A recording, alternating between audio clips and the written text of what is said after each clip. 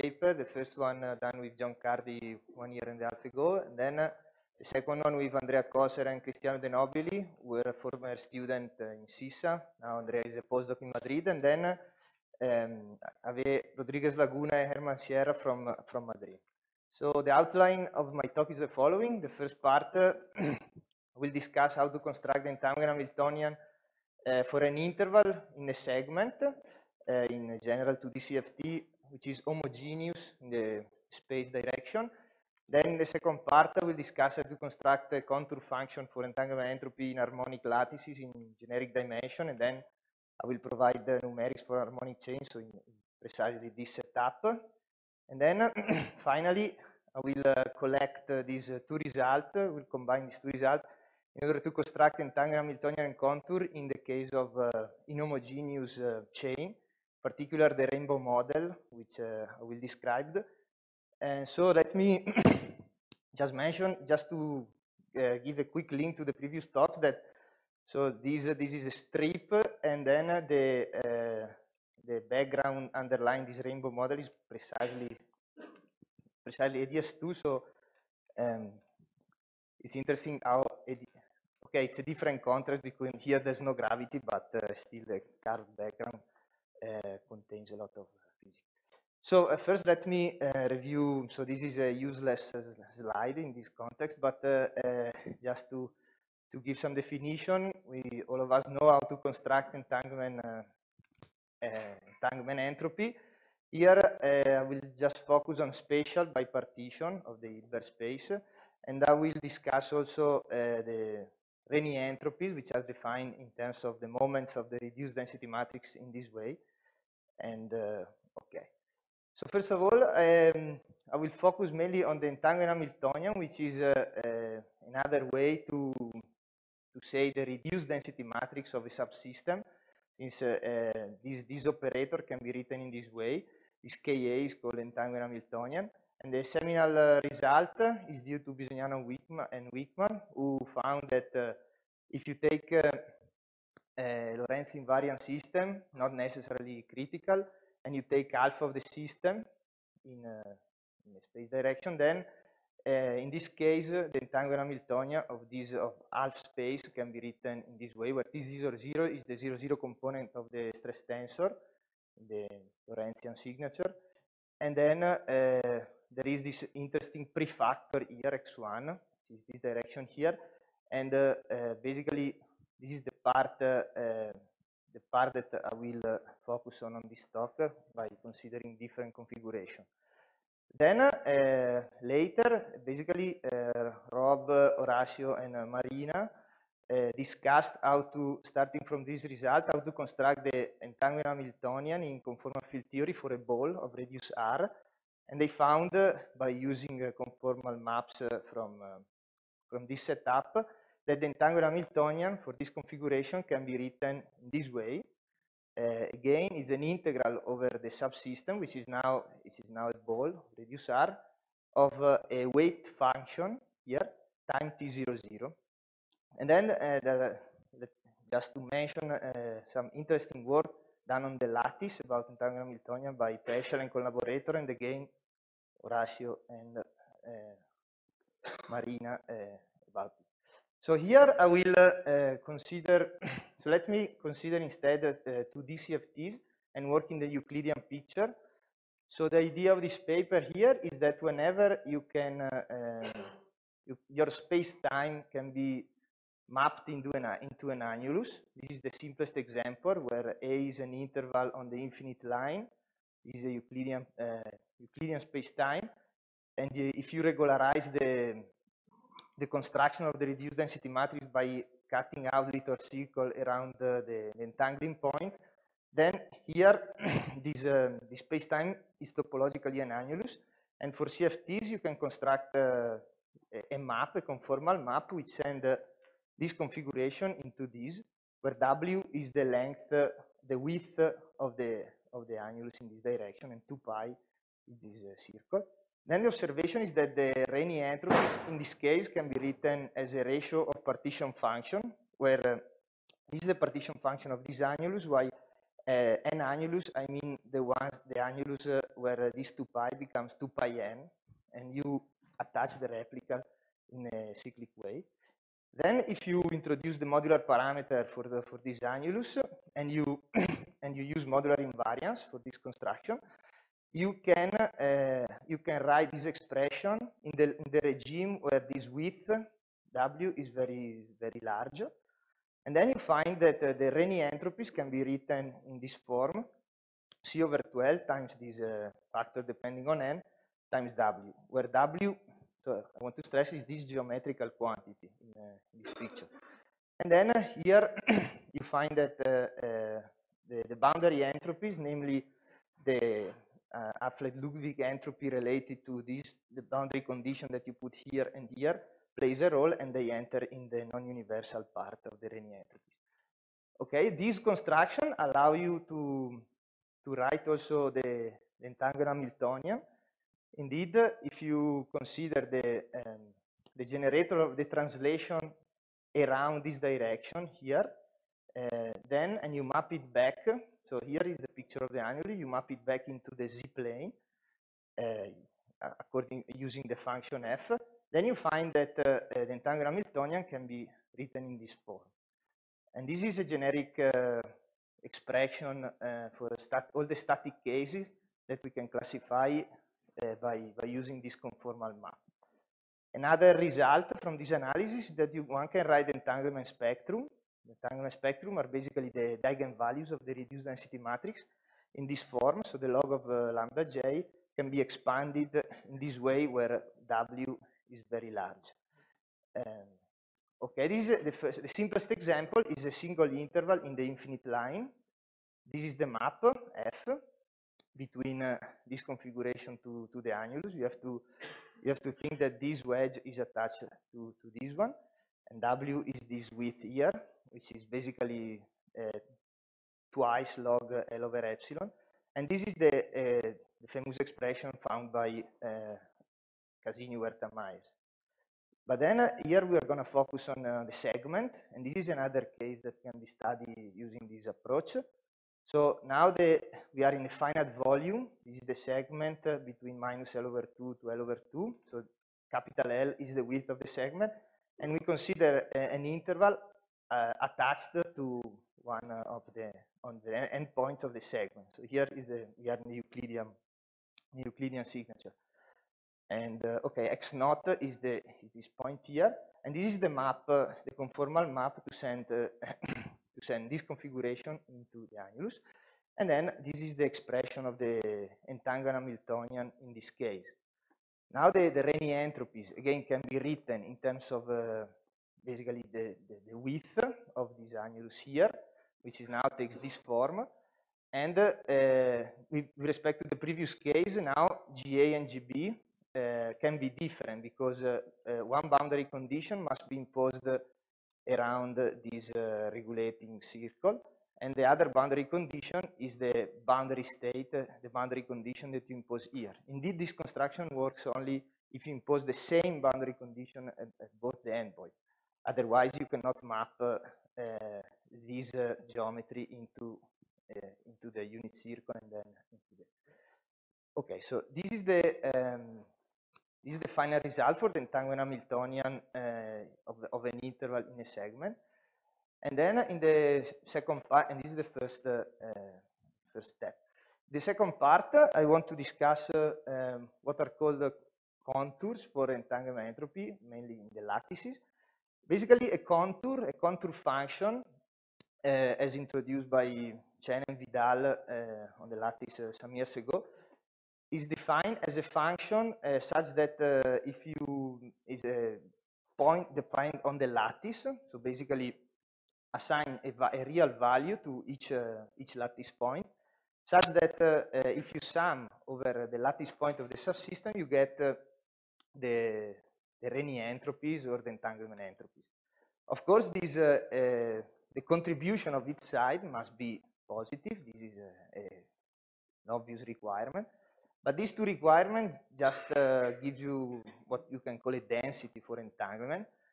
And uh, that's why uh, if you want to specify better uh, this, uh, this, um, this quantity, you need to impose other, other constraint. But in the end, the idea of study this quantity is to understand whether there is uh, some special structure of entanglement, right? And uh, uh, let me mention that uh, uh, Mukund, Veronica, Tadashi, and Bhattacharya have studied this question of the, defining the density of entanglement entropy in QFT by using the construction of Horacio and Marina with a strong subadditivity uh, for the, to, to prove the C theorem and F theorem, and they defined uh, um, in QFT a density of entanglement Hamiltonian by applying a differential operator on SA for the entanglement entropy. Here I want to follow a, a different approach based on the, on the construction that I just described. So if you uh, take uh, the construction that I described for, before, where the Rényi entropies can be written in this form. This W turns out to is, is given by the integral over the, the interval of the of f prime. So f was the conformal map uh, relating the the initial configuration in the Euclidean space-time to the to the annulus. Uh, so now if you take this this expression of W, plug it in, and you uh, you, you take the integral, it's immediate to to realize that uh, uh, you have a candidate, you have a CFT, CFT candidate for, uh, for this contour function, right? Where this is the central charge, and this is the derivative of the conformal map that sends you your initial configuration to the annulus. These are the, uh, the extra property that Chen and Vidal introduced to, to characterize better the contour. Uh, I don't want to discuss them because uh, they are pretty technical, but uh, just to give you the idea that these two conditions uh, are not enough because, uh, uh but uh, in principle, this list is not enough as well because it's still an open problem to understand how, how this what in how this contour can be defined uniquely. But Chen and Vidal constructed for free fermions. And uh, uh, the, the, question we ask is uh, how can we construct a, a contour function for boson. So we took a, an harmonic chain, and uh, you can generalize to any dimension. And here, uh, in, uh, in order to, to study the entanglement entropies on harmonic lattices, the standard construction that uh, Tadashi recalled uh, for us this morning is to consider um, the reduced covariance matrix. So first uh, you collect the Q operator and P operator into a vector, and then you take this two-point function, you restricted uh, these correlators to your subsystem, and then uh, you use the um, uh, what is called Williamson theorem, which tells you that this matrix here, which is real symmetric, can be kind of diagonalized in uh, quote unquote in terms of symplectic matrices. Symplectic matrices are the symmetries underlying this problem because here we have a canonical commutation relation to preserve.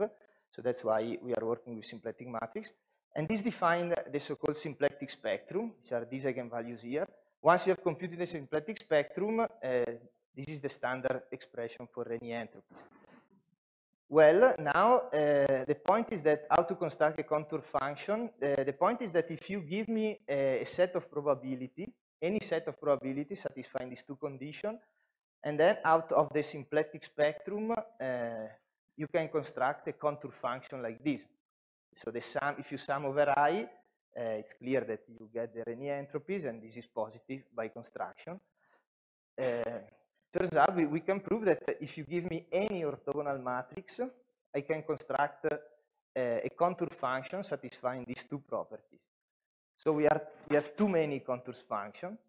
Uh, our proposal is to select a, an orthogonal matrix which has to do, which has something to do with the, with the physics of the, the system we are considering. So we consider the, the, the symplectic matrix uh, under uh, which, which uh, gives you the symplectic spectrum associated to the reduced covariance matrix. And then uh, we use the so-called Euler decomposition of any symplectic matrix, which tells you that any symplectic matrix can be decomposed uh, in a unique way as a product of uh, two orthogonal matrices, k left and k right, and then uh, sandwiching a diagonal matrix which has this form. Okay, so our proposal is to forget this, uh, this diagonal matrix and take the product of these two.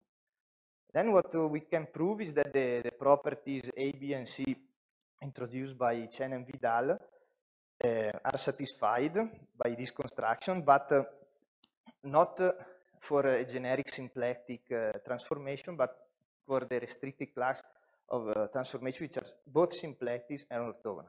Okay, these are uh, technical details, but, but just to tell you that there are many possibilities and the point is which kind of properties you impose. So now we can check, uh, uh, let me tell you numerically uh, the, the, results. So this is the, the um, mode participation function that we found by using this construction for an, um, for an harmonic chain. So we are in infinite on the infinite line, and the interval is made by 100 sites. Uh, okay, so this is for a very small mass, and then if you increase the mass, this is what happens to this profile.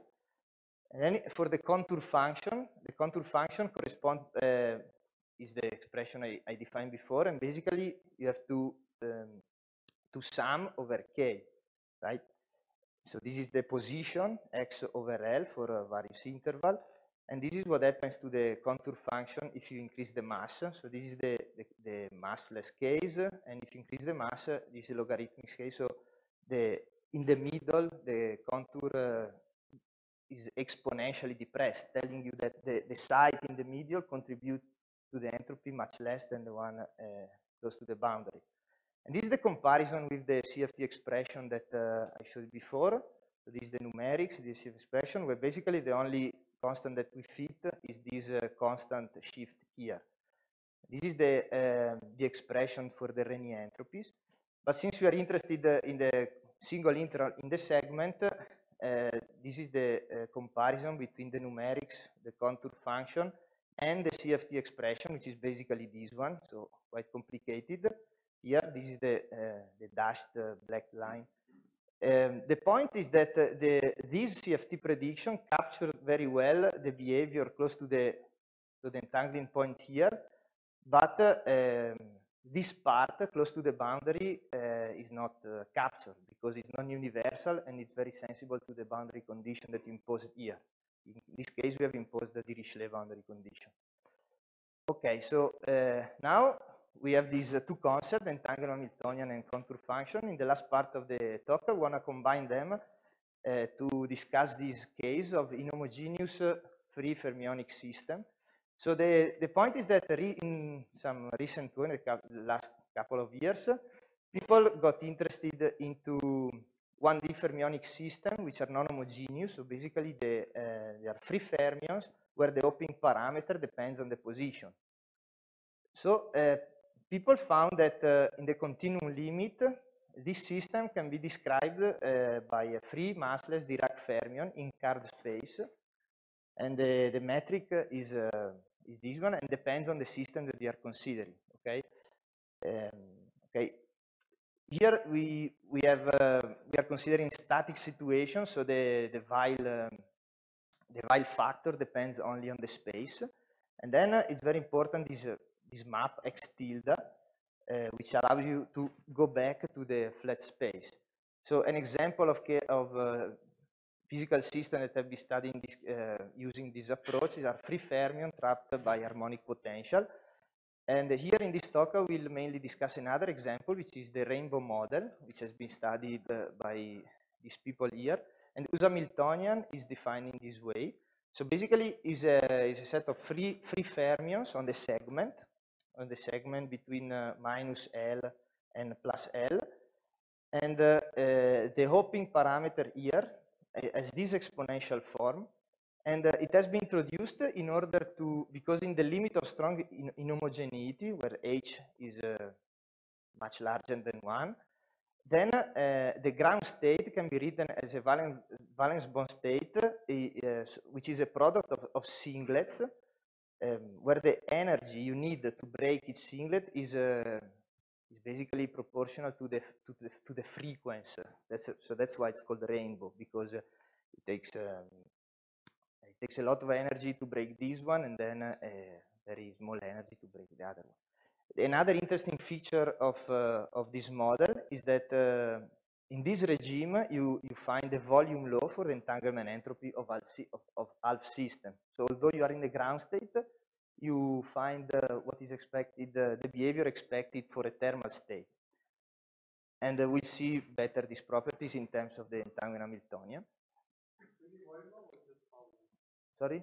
Vo volume law. Uh, for the entanglement entropy. Yeah, yeah.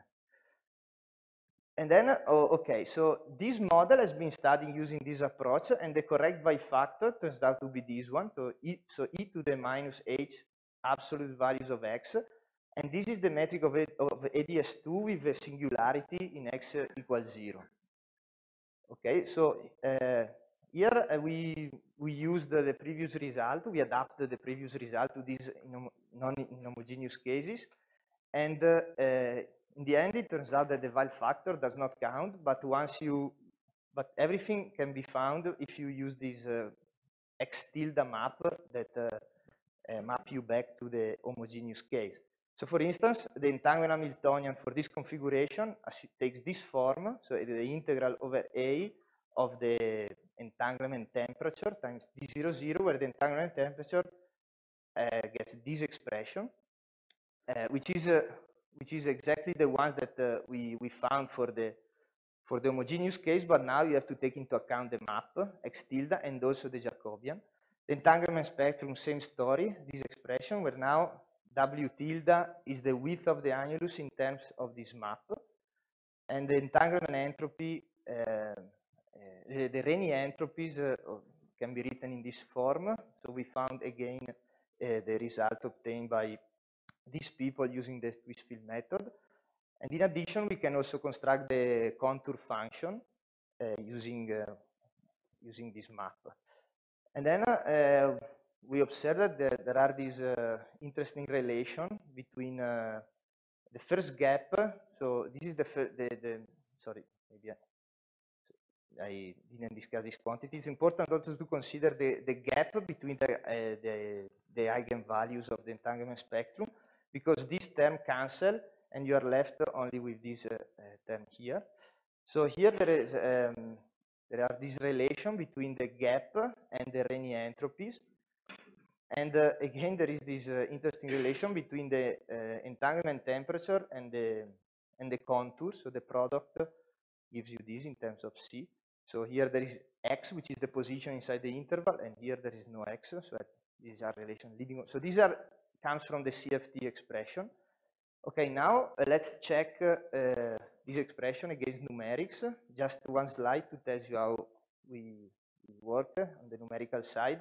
So in order to compute the entanglement Hamiltonian, we assume uh, an expression of this form. Uh, so basically, uh, sum over A of um, some uh, creation and annihilation operator weighted by some, uh, some BI. Uh, and then we found this BI by minimizing this error function. So you basically you define some uh, two-point function of uh, these two operators in terms of this entanglement Hamiltonian, and then uh, you compare with the uh, with the two-point function, the real two-point function of the of the model. You take this error function and you minimize the, using standard techniques, and that's the way uh, we use to fix this B. So we know already that uh, this, this answer is not correct because there are also other terms. So not not only this nearest neighbor, but there are also, but uh, from the analysis of uh, and Peschel uh, and also numerical analysis by other people, it's, it's, it's known that the other terms are much smaller than this. So we took this approximation.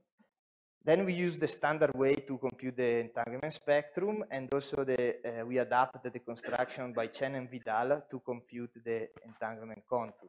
Basically, just to tell you that the contour is uh, uh, contains information about both the eigenvalues of the two-point function, but also the eigenvector. So it's, it's something more complicated that, uh, than Rényi entropies. So these are the results. For instance, for the entanglement temperature, this is the, this is the expression that one finds from CFT. So L is the size of the, of the, of the segment, X naught is the position of the entangling points. And then uh, I need to introduce uh, this important combination here, lambda, uh, which is H times L.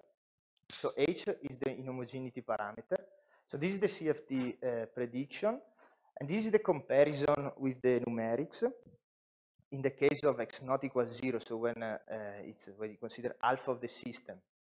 Okay, so this line corresponds to the Bisognano-Wichmann behavior, and these uh, numbers here correspond to the uh, homogeneous case. So the it's basically the, the, the first entanglement Hamiltonian segment that I introduced. And here it's what, what, happens when you switch the inhomogeneity. You see that this curve goes down, and for uh, when the inhomogeneity is very high, so H uh, is very high, uh, the, the profile gets flat. And uh, this means that uh, basically B, uh, you can uh, take out B, B, beta becomes constant, and you find uh, basically the, the thermofield double behavior, right? Because uh, this behaves like a thermofield double because you have two equal size at finite temperature given by this expression here. And here it's clear how this happens in terms of entanglement Hamiltonian.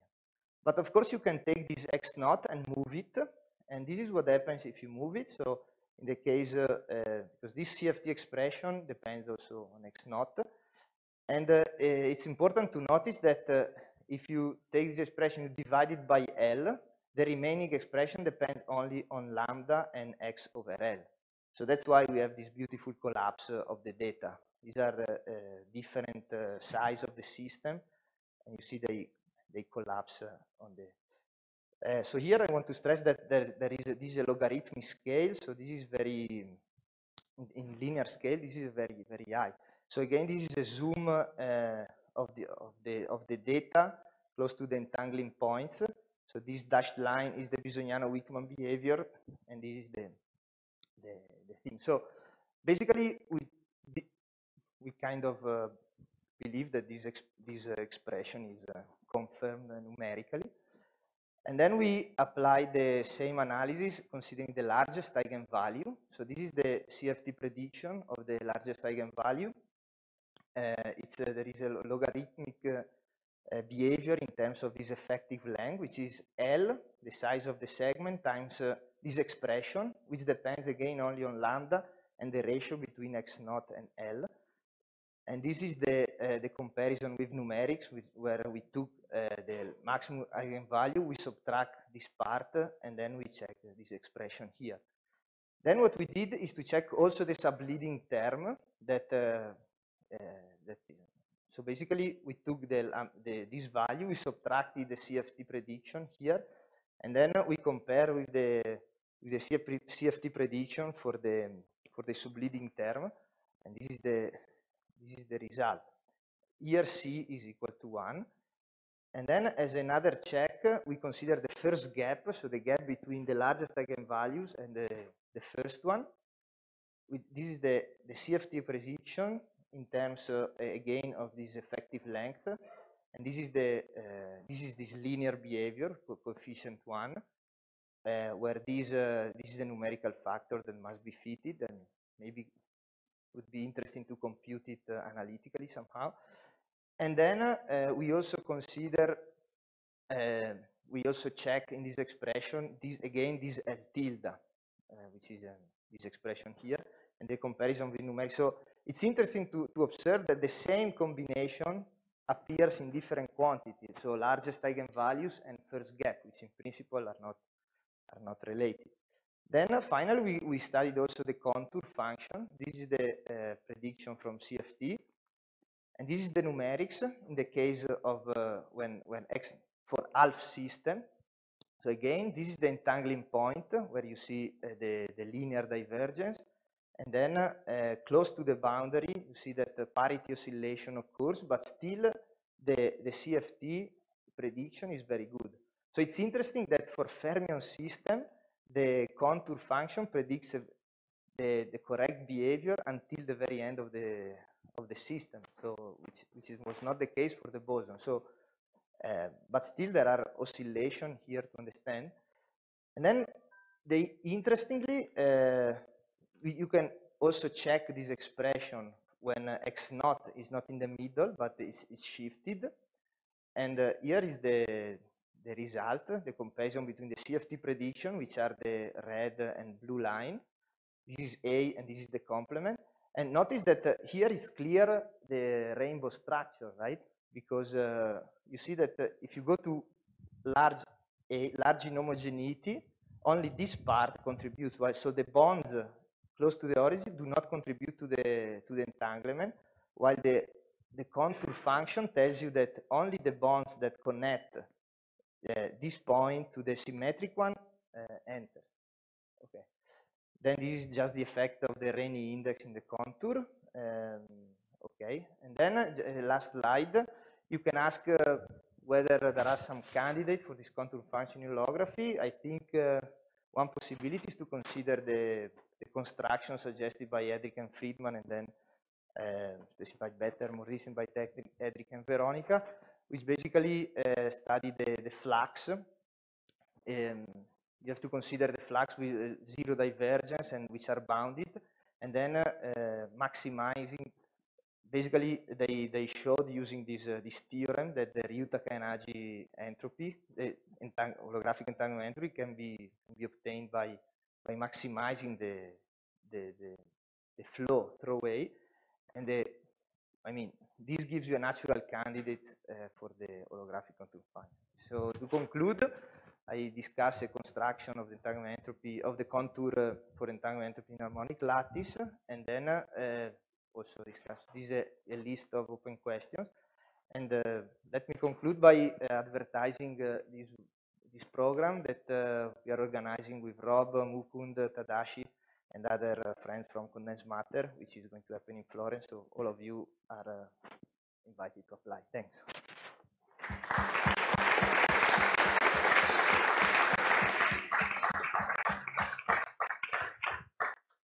So we have time for one or two questions, if there are any.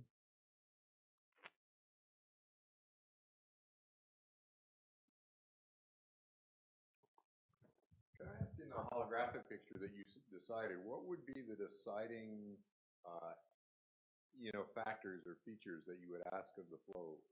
Yeah, I mean, here, as Headrick and Freedman uh, stressed, uh, of course, uh, there's no fixed flow through A, right? So the flow is fixed through the through the Ryu-Takayanagi surface, but here you can move. The, the, the point is to fix the project. So, for instance, one can ask for spatial symmetry. Is a trivial one. If you have a circle, you expect that the flow is symmetric. But then there are further properties like the invariance under, lo under local uh, change of basis which is the one that, that also Vidal and Chen asked. This is something that one can uh, translate somehow in QFT, and this could help to fix the flow. But at this level, you are right, the high level of uh, non-uniqueness is just uh, the density at this level. But uh, would be interesting to, to address this question.